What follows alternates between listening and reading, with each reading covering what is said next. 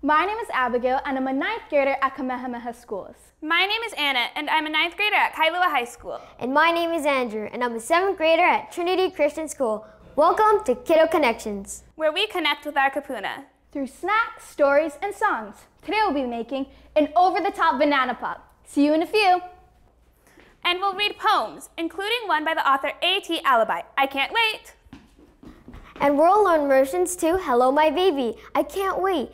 All of today's snacks, stories, and songs are themed on the word of the day, Ohana.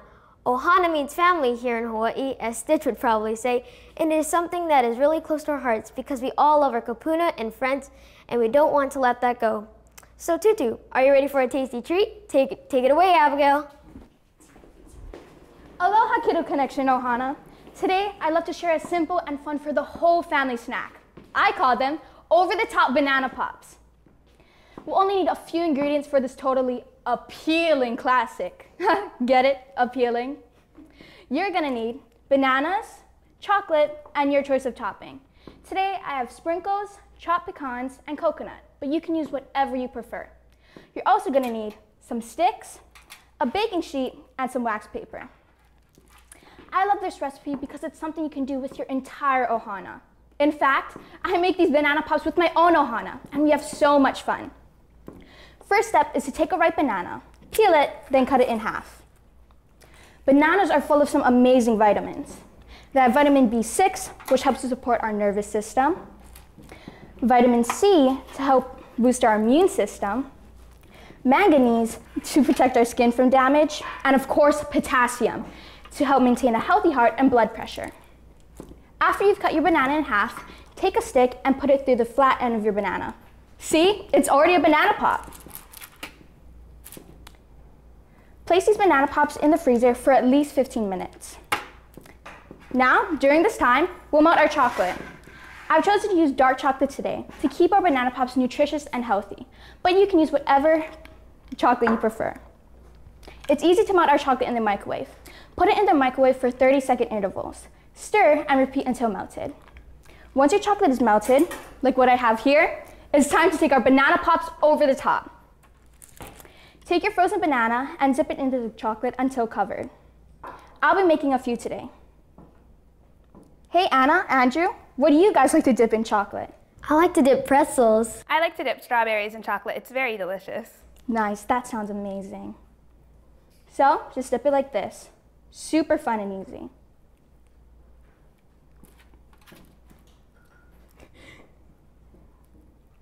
Just like this. Once your banana is covered, it's time for my favorite part. We take our banana pop over the top. This is my favorite part because everyone in the Ohana can really make it their own. I like to put coconut on mine, so I'll be putting coconut on it. But my grandma loves this with chopped pecans, so I'll be making one for her. And my mom loves this with sprinkles, so I'll be making one for her too.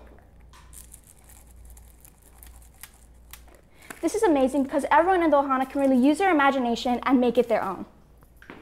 Speaking of Ohana, one more quick joke. Why don't bananas get lonely? Because they hang out in a bunch. And I think that's the amazing thing about Ohana. Spending time together and making meaningful connections. With Ohana, we are never alone. Well, there you have it. Over the top banana pops. Wishing you and your Ohana good health and positivity. So Tutu, are you ready to hear a few poems? Take it away, Anna. Today I will be reading a few poems about the theme of family and our Ohanas. This first poem is about how time can be short and you don't always have as much time as you think you might to be with people and how you need to appreciate what we have while we have it. This poem is called Make It Count. It is written by A.T. Alibi. That friend, would you two have had more fun if you knew how long he'd be gone? That possession, would you have allowed others to borrow if you knew it, you'd lose it tomorrow? That stranger, would you have helped to ease his pain if you knew you would meet again? Those kids, would you have held them dear years ago if you knew how fast they'd grow? That neighbor, would you have tried to say goodbye if you knew he was going to die? Life is volatile. Time is short. And better is, is the smallest deed any day than the greatest intention tucked away.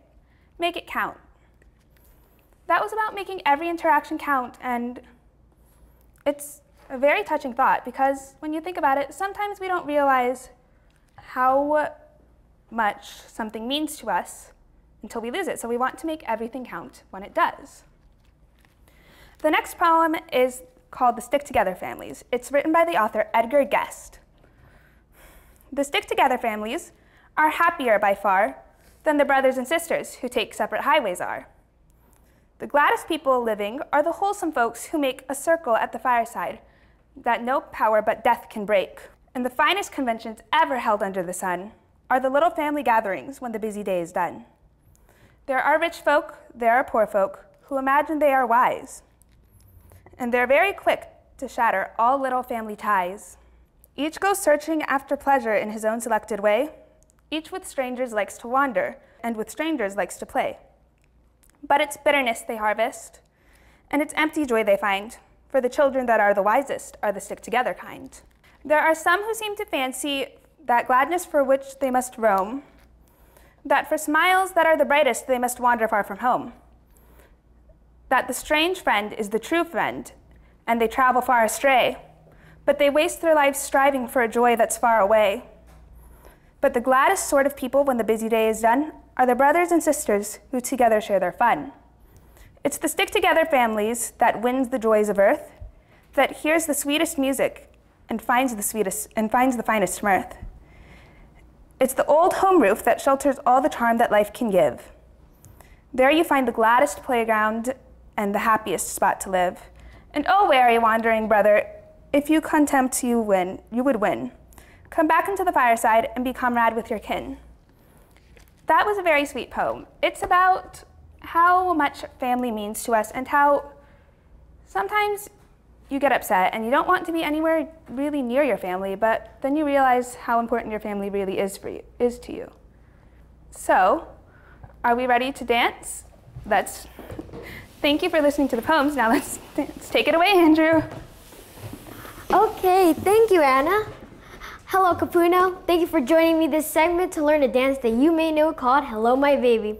So, I know that you guys are eager, so let's get right into it. So, the first step is you want to get your right hand and you want to wave it twice to the right.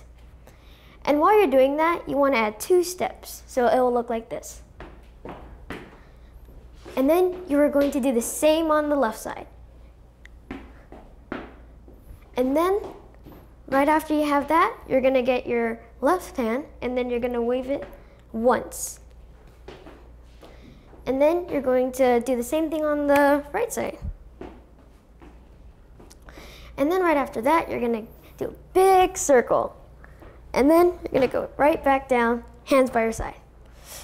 When you're to do that, and then you're to do a box step. And I'll show you just how to do that. So first you want to step with your right, cross over with your left, step back with your right, and end back up in your normal position with your left. Right after you have that, um, well, you can snap or clap while you're doing the box step, whichever you prefer. And then we're gonna move into the next step is you're gonna put your hands over your hearts and you're just gonna sway side to side four times. And then there's one last step at the very end, but let's review all the steps we learned so far. So first wanna go to your right, so step and step, step and step, wave, wave, and big circle. Then you're gonna go box step, and then hands over hearts and we sway four times. And then our finishing pose and our last instruction is you're gonna get your right hand and you're gonna wave high like you're waving to someone and that is your finishing position. So, Kūpuna, are you ready to try with music? Let's do it.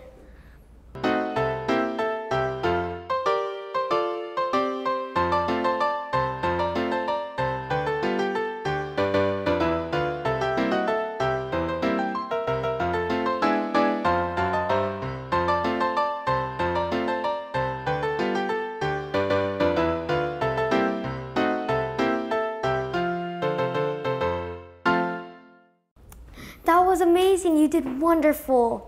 And on the topic of dancing, Kūpuna, when was the last time you jumped up and danced with family and friends? Thank you for joining me, and we hope to see you again soon. Mahalo for joining us today for snacks, stories, and songs. We hope we were able to bring some joy into your homes and hearts. Remember, us kiddos are thinking about you and hope to connect again soon. My name is Abigail. My name is Anna. And my name is Andrew, and this has been another episode of Kiddo Konnections. Aloha!